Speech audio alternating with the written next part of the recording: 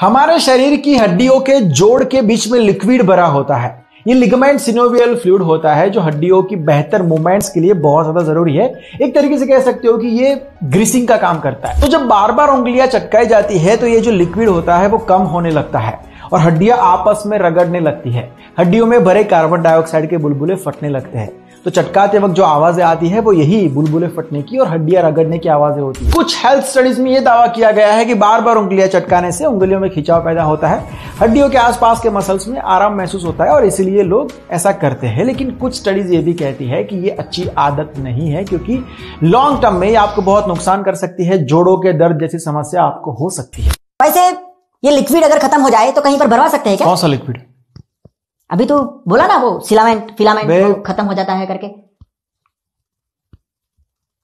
मतलब नहीं भरवा सकते ऐसा सीधा सीधा बोलना कि नहीं भरवा सकते? हैं।